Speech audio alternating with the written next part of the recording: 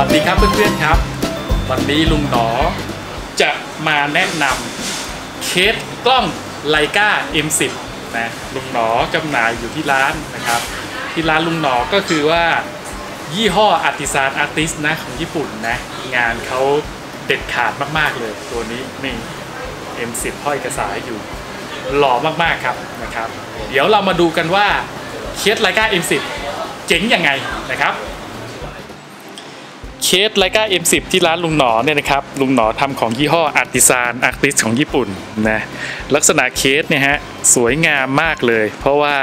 เขาเป็นหนังจากอิตาลีมานะครับของ M10 นี่จะมีคล้ายๆ เป็นกริปให้นิดนึงทำให้เพื่อนๆสามารถจับได้ถนัดขึ้นนะ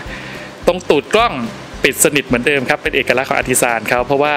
เขาเน้นเรื่องการ protect โดยเฉพาะนะครับเวลาเพื่อนๆจะเปลี่ยนแบตเตอรี่แค่ ถอดกระดุมด้านบน 2 ด้านแล้วสไลด์ออกอ่านี่คือเคส M10 ของ Artisan Artist นะอ่าเดี๋ยวลุงหนอดูด้านหลังกัน ด้านหลัง Leica M10 ก็เปิดปกติเลยครับ นี่เลยครับ สวยงาม ไม่มีอะไรไปขวางการ control การใช้งานของกล้องเลยนะฮะตัวนี้ M10 ต้องขอบคุณน้องจุนนะครับ ที่ให้ลุงยืมตัวบอดี้ ไลกา M10 สีดำมาอ่าสวยงามครับนะฮะงานหนังจากอิตาลีของอาติซาน